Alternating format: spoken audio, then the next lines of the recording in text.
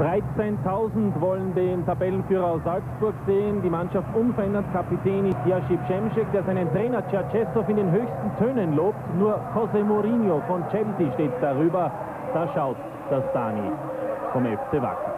Bei den Salzburgern kehrt Alexander Knaus zurück anstelle von Christoph Jank. Ansonsten der Tabellenführer wie zuletzt beim 3 zu 0 am Sonntag gegen Sturm.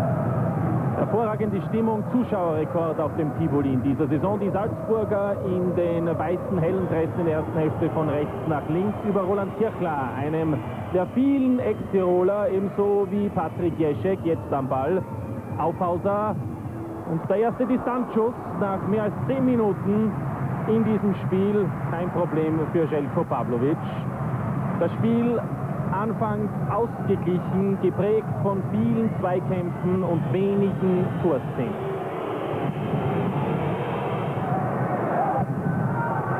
Die Tiroler lassen die Salzburger kommen, warten auf die Kontermöglichkeit und die Salzburger über Carboni auf Dicker, einzige Spitze. Meierle blockt, wenn ja weiterhin verletzt und das ist Jeschek. Das ist König bei den Bullen aus Salzburg deutlich zurück. FC Wacker vorsichtig in seinen Angriffsbemühungen. Cemcek verlängert von Hölzl auf Mim. Cemcek lässt da durch. Attenberger und dann steht 1 zu 0 in der 25. Minute durch Matthias Hattenberger, der 26-jährige macht seinen berühmten Nachnamen alle Ehre. Der Sohn von Roland Hattenberger mit seinem zweiten Torschuss erst in der Bundesliga-Karriere macht er sein erstes Tor und wir sehen unter starker Mithilfe von Alexander Knaus, der Ex-Tiroler, lenkt den Ball unabsichtlich ab. Danach härtere Einlagen, wie hier vom Bichhorner, da gibt es Geld für den Salzburger. Glück hat aber Hannes Eder, der hier Alexander Zickler erwischt, kommt aber ungeschoren davon.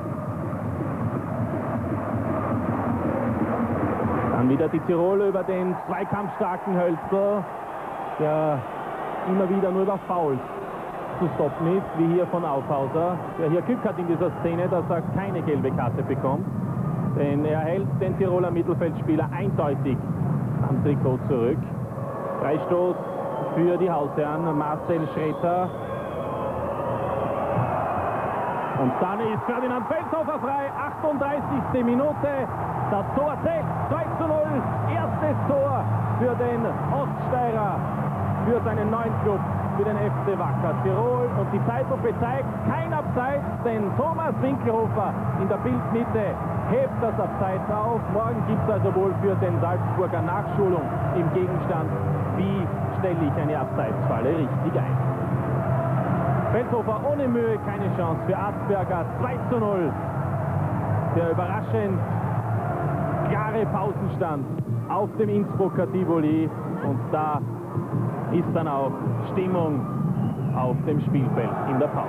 Nach dem Seitenwechsel zunächst unverändert beide Mannschaften.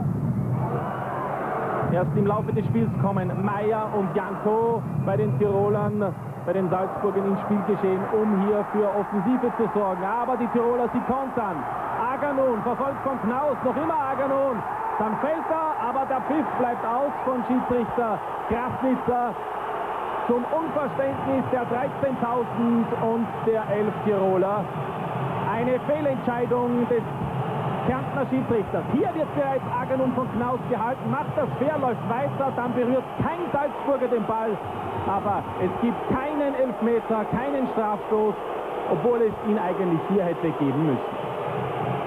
Wie schon so oft auch in den letzten Spielen der Kärntner Unparteiische nicht immer Herr der Lage. Die Salzburger über Kirchner, der heute wenig Akzente setzen kann. Hier wird er gefault von Feldhofer. Freistoß. Jeschek. Die beste, die gefährlichste Aktion der Salzburger nach über einer Stunde. Sie schaffen es nicht zuzusetzen, sind überrascht über die Zweikampfstärke und über die Kampfkraft und Gegenwehr des Tabellenneunten des FC Wacker Tirol. James X, Aganun, der kaum zu stoppen ist. Tapalovic in Hälfte 2 sehr auffällig, der Tiroler Mittelfeldspieler. Hölzl, immer wieder schaltet er sich hervorragend ein, diesmal auf Mim. Und dann ist da Marcel Schretter, die Entscheidung, 64. Minute, FC Wacker Tirol 3, Salzburg 0. Jubelstimmung auf dem Tivoli. Dennis Mim, zweiter Assist und wieder einmal Thomas Winkelhofer, nur Zuseher. Zum zweiten Mal der Fehler des Salzburger Odis. Er vergisst auf Marcel Schreter und der macht seinen zweiten Saisontreffer. Danach packen die Salzburger die Sense aus. In dieser Situation herrscht Konfusion auf dem Spielfeld. Markus Schopp kaum zu beruhigen. Bekommt nur Geld. Zunächst das Foul von Tabalovic. Das wird auch geahndet. Aber was macht dann Markus Schopp? Ein Revanchefoul hat Glück, dass er hier nicht vorzeitig vom Platz gehen muss. Unbeherrschtheit beim Salzburger Kapitän und auch bei seinen Mannschaftskollegen im Anschluss. Wie hier Janko, der hier Geld zieht für dieses Fotalo-Foul. An Bernd Windisch, keine Chance auf den Ball. Und zu guter Letzt auch noch der eingewechselte Maino Suazo mit einer Unsportlichkeit, die zu seinem Glück ungeahndet blieb. Denn hier schlägt er Jerzy Cemcek ins Gesicht. Wir sehen es in der Zeitlupe noch viel besser und viel deutlicher. Der Tiroler kann aber zum Glück weiterspielen. Im Bildrand links schlägt er hier mit seinem linken Arm aus. Eine Unsportlichkeit, die der Hondurano nicht notwendig gehabt hätte. Glück für die Salzburger, der Schiedsrichter Krasnitzer heute bei Gott nicht seinen besten Tag hatte und die Salzburger mehrmals verschont hat, Karten zu verteilen und auch einen Elfmeter gegen den Tabellenführer zu geben. Danach nochmals Kirchler mit einem Kopfball, aber Željko Pavlovic kaum geprüft und wenn dann immer Herr der Lage. Die Rückkehr von Roli Kirchler war nicht so erfolgreich an diesem Abend. Dann noch ein Schuss von Meyer auf Binja, das erste Spiel nach seinem Abgang im Sommer. Ohne nennenswerte Höhepunkte bei den Salzburgern. Im Gegenteil, die Tiroler im Konter gefährlicher, vor allem über Tapalovic. Wieder ein Slalom des Kroaten. Bleibt am Ball, setzt sich da schön gegen Suazo durch findet Aganon und der macht das wunderschön und Asperger, der beste Salzburger an diesem bitteren Abend für den Tabellenführer, wehrt hier diesen Schuss des Nigerianers über das Tor. Am Ende jubelt Kurt Jara den Tiroler Fans zu, die unter der Gürtellinie den ehemaligen Tiroler Meistermacher beschimpft haben. Alles in allem aber ein verdienter 3 zu 0 Erfolg des FC Wacker Tirols. Zweiter Sieg in Folge und für die Salzburger nach sechs Siegen in Serie die erste Niederlage und die Interviews nach dem Spiel von Gerhard Graf.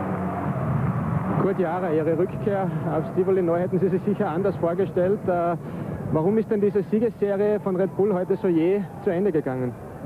Gut, weil wir heute alles falsch gemacht haben, was zum Falschmachen war, auf den Gegner getroffen sind, der sehr aggressiv gespielt hat, in entscheidenden Momenten das Glück gehabt hat, mit dem ersten Torschuss in Führung gegangen ist und dann sind wir nicht mehr ins Spiel reingekommen, aber äh, wir haben sechs Spiele hintereinander gewonnen. Es gibt solche Tage im Fußball, wenn es der einzige für die nächsten Wochen geblieben ist, kann man das auch mal akzeptieren. Sensationell, dass wir heute da 3-0 gewinnen gegen Salzburg. Das hat sicher, haben sie sicher nur die wenigsten erwartet. Wir selber haben, haben an, an uns geglaubt.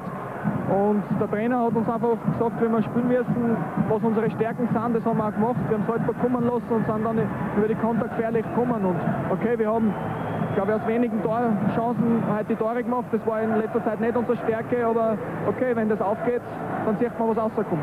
Zugeschützt bitte.